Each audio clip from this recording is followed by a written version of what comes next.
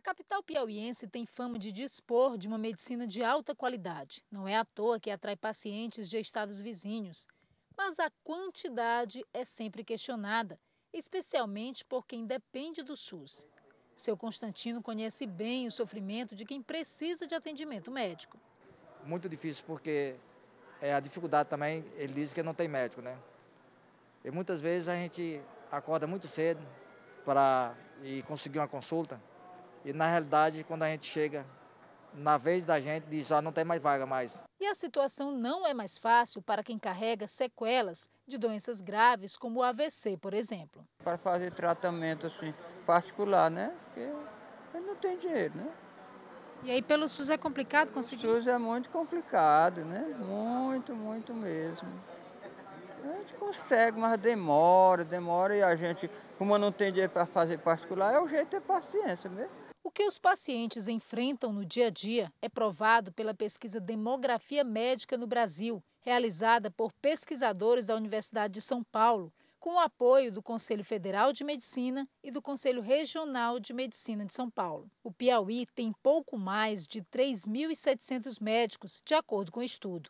Apenas 0,9% do total de profissionais do Brasil e 5,1% dos médicos do Nordeste. A proporção no estado é de 1,17 profissional para cada grupo de mil pessoas. É a vigésima colocação do país, muito abaixo do Distrito Federal, que ocupa a melhor posição, com 4,28 médicos para cada mil habitantes. Só cinco estados têm um diagnóstico pior do que o Piauí.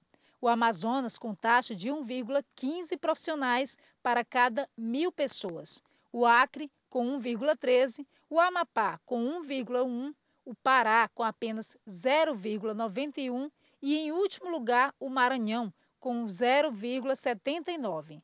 Quem sofre mais com a baixa quantidade de médicos é a população do interior do estado, já que a distribuição é desproporcional, para se ter 5.940 médicos no Piauí. Mas não houve uma melhor distribuição. O presidente da Associação dos Médicos explica qual seria a causa do déficit dos outros municípios. O Brasil tem muitos médicos. Nós temos é, um índice equiparado aos Estados Unidos, proporcionalmente.